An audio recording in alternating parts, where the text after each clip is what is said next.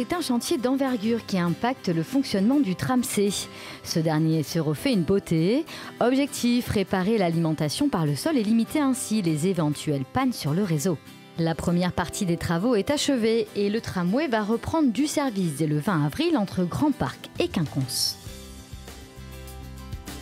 Des travaux incontournables pour assurer un service optimal et donner une seconde jeunesse au réseau qui a déjà 15 ans d'activité. Ça consiste à remplacer des rails euh, ancienne génération par une nouvelle génération. Ce sont des rails qui ont été endommagés par la circulation routière.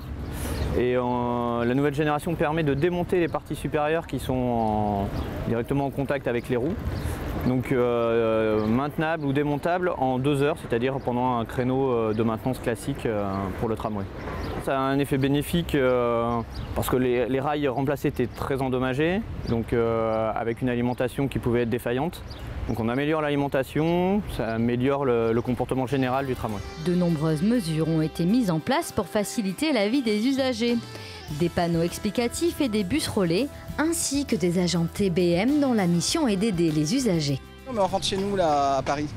Et alors, qu'est-ce qui se passe ce matin Il n'y a pas de tram, voilà. Vous êtes satisfait quand même des informations ah, Heureusement que la, la dame euh, est venue à notre, euh, à notre secours. Qu'est-ce qu'elle vous a dit bah, Elle nous a indiqué l'endroit pour récupérer le, le car euh, de substitution. J'espère qu'elle m'a bien renseigné, la dame, que je ne vais pas marcher pour rien. Mais je prends les bus enrôlés. Voilà, tout simplement. Fin des travaux prévus le 25 avril pour un retour à la normale dès le 26.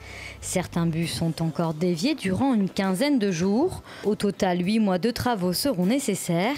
Une nouvelle phase est donc prévue cet été.